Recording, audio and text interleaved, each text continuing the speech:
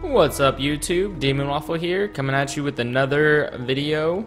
Um, this video is we're gonna go over how to power stuff inside your house, like televisions and all that, all that good stuff.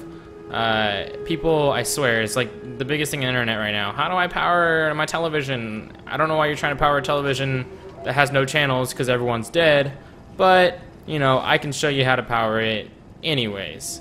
First off, I just wanted to start off by saying thank you guys. You guys are all amazing. Thanks for all the likes and subscribes and all the, you know, all the views you guys help me get. You guys rock. Um, hopefully, you continue to follow me while I do more tutorials on Fallout. And I'm always going to be here to try and answer questions. So if you guys have more questions, uh, let me know. There was a question about defense builds, uh, like flamethrowers, tripwires, uh, things like that, all operating off of electricity and power. I will get to that. Um, I did want to do the television thing first, though, because that was huge, and I saw everyone was having trouble doing it.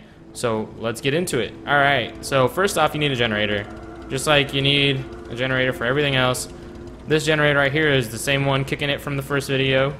Yeah, he, he's cool, man. So let's get this started. All right, so first off, go into workshop mode. Bada bing. And we're gonna put down a television. Which television are we gonna use? We're gonna use the bed. No, I'm just kidding. We're gonna use the miscellaneous television right here. And boom. Alright, so this television is uh, 1080p, 50 inch screen. Uh, it even comes with a stand. No, I'm just kidding. But seriously though, uh, so this is the television we're gonna be using.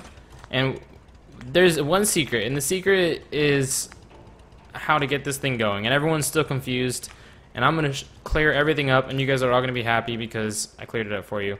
So what this sucker right here is, and this is a power conduit, right? So this power conduit, which we all are learning what it does now, this sucker is going to power everything on the surface it's attached to. So you can see this right here, this power conduit, mm-hmm, is on the ground. So there's a ground mounted one, right? There's also a wall mounted one, which it won't let me build because I have no copper because I've used it all making these videos for you guys. So, you know, and I have not had time to scavenge it. I just finished taking a midterm, so sorry about that. But this is a wall conduit, and this would be a ceiling conduit.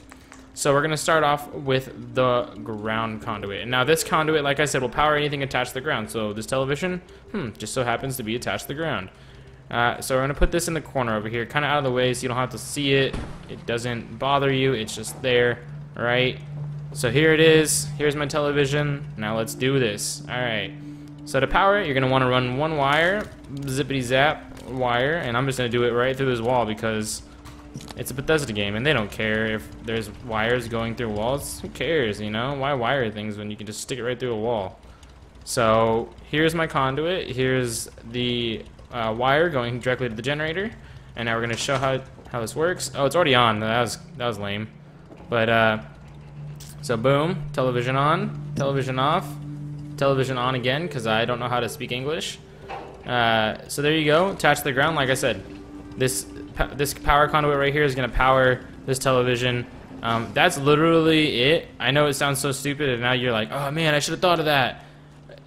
So should I. It took me forever to figure this out. But now you know, um, and now I know, and now we can all go on with our lives. If you guys have any more questions, comments, concerns, please just drop a comment. I'm here. I'm making videos for you guys. These all are requested videos, and I'm here to make it so you guys have something to watch so you guys can have all your problems solved.